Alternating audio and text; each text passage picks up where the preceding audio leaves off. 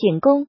相信你们听了晋景公的死法，一定会对他非常同情的，因为这家伙是上厕所的时候掉进粪坑摔死的。将石杖如厕，现而足。左传成公十年，不过春秋时期的厕所确实蛮简陋的，就是一个两米高的大坑，上面再搭两块板子，土坑填满就弃置，附上古代厕所图一张，比人还高的大坑，也难怪晋景公不小心掉下去就上不来了。二朱鲁庄公，朱庄公和上面的晋景公可谓难兄难弟啊。这位是摔在火盆上，伤口溃烂而死。事情起因于朱庄公的内侍诬告大夫仪社姑在宫殿外面拉尿，有洁癖的朱庄公当然不能忍了，派人去抓仪社姑。没想到仪社姑听到了风声，早就跑得没影了。朱庄公听士兵说没抓到仪社姑，气得从榻上一跃而起。结果摔进火盆，伤口溃烂而一命呜呼了，自投于床，废于炉炭，烂碎足。左传定公三年，三朱高煦，朱高煦是明成祖朱棣的次子，明仁宗朱高炽的弟弟。后来明宣宗继位，把他扣在三百斤的铜缸之下，还在铜缸四周点上木炭。活活把他烤死了。听到这里，你们不禁会质疑：这不就是很常见的宫斗死法吗？不不不，明宣宗之所以把他扣在铜缸下面，完全是因为这货太能做了。明宣宗刚继位的时候，对这位叔叔是非常优待的。虽然这货在成祖和仁宗时期劣迹满满，凡是朱高煦提出的请求。明宣宗都采纳了，于是朱高煦觉得这个侄子软弱可欺，在宣德元年起兵谋反了。造反的结果当然是失败了，但是明宣宗却没要这位叔叔的命，而是把朱高煦和他的儿子们废为庶人，关在皇城内。有一天，明宣宗好心去看这位叔叔。没想到这位叔叔干了一件匪夷所思的事情，他趁明宣宗不注意，伸出一只脚把他绊倒了。天哪，你是脑子搭错了哪根筋啊？附一张网络上找的效果图。青山明宣宗终于大怒，下令把他关在铜缸下面，把他弄死了，而孤身一族，勾上薄地。以致铜缸燃炭，身首为灰。古英太平。四赵文华。说起赵文华，大家不知道是谁；说起另一个人严嵩，大家应该都熟悉。赵文华正是严嵩的义子。这哥们怎么死的呢？明史上记载，他是有一天晚上用手抠自己的腹部，结果肚子破了。内脏流出来就死了。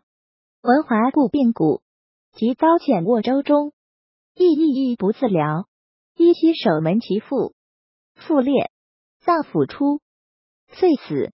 明史。吓得宝宝不敢摸肚子了呢。五。埃斯库罗斯，埃斯库罗斯是古希腊的一位哲学家，一位写悲剧的诗人，他的死亡也蛮悲剧的。传说埃斯库罗斯有点脱发，在他前往西西里的时候，一只老鹰衔住，一只乌龟从他头顶飞过，大概是老鹰眼神不好吧，以为埃斯库罗斯的秃顶是石头，就把乌龟朝他头上砸下，结果就把他砸死了。埃斯库罗斯不幸因此成为史上唯一一位被乌龟砸死的人。六。大卫·格里德曼，大卫生前并不出名，但是因为他奇葩的死法，在史书上留下了浓墨重彩的一笔。一九八二年，大卫和友人一起想要用手中的散弹枪射击沙漠中的植物。当大卫朝一棵二十六英尺高的有百岁高龄的仙人掌射击时，掉下来的枝干将他扎死。因为他的作死程度，他被授予一九八二年的达尔文奖。其他获奖者还有一九九一年的泰国姐妹，一九九六年加拿大的加里等等。五十七岁的泰国人 Yukat Pong 在家中踩到牛粪摔倒，然后触到一根裸露电线身亡。他五十二岁的妹妹在事后向邻居演示姐姐是如何踩到粪便身亡时又不慎摔倒，然后倒在了同一根电线上触电身亡。三十九岁的加里霍伊，来自多伦多的律师，撞碎了多伦多银行大楼二十四层大厦的玻璃窗，掉到了地上。他的目的是向来参观的学生证明大厦的玻璃是牢不可破的。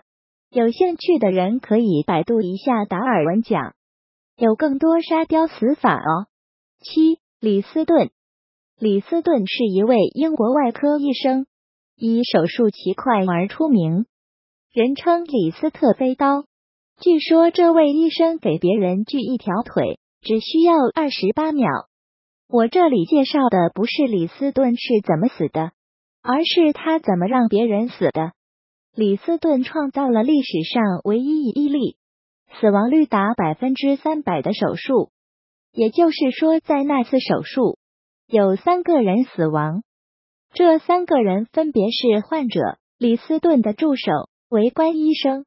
事情是这样发生的：因为当时没有麻醉药，所以必须要两个人按住患者，防止截肢时因疼痛剧烈挣扎。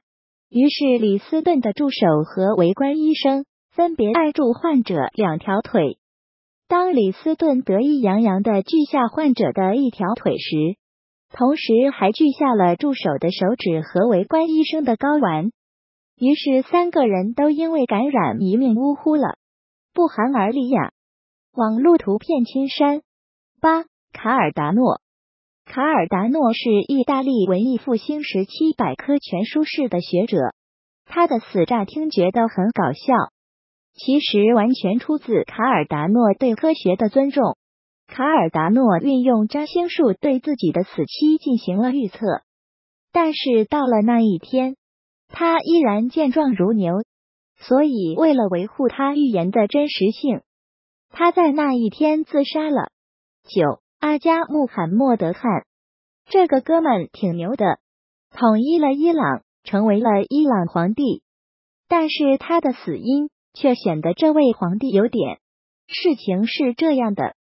在某天晚上，这个哥们因为卧室外面两个守卫吵架声太大，就宣布第二天处死他们。没想到这个哥们晚上还让这两个守卫守护自己的卧室，结果当晚就被杀了。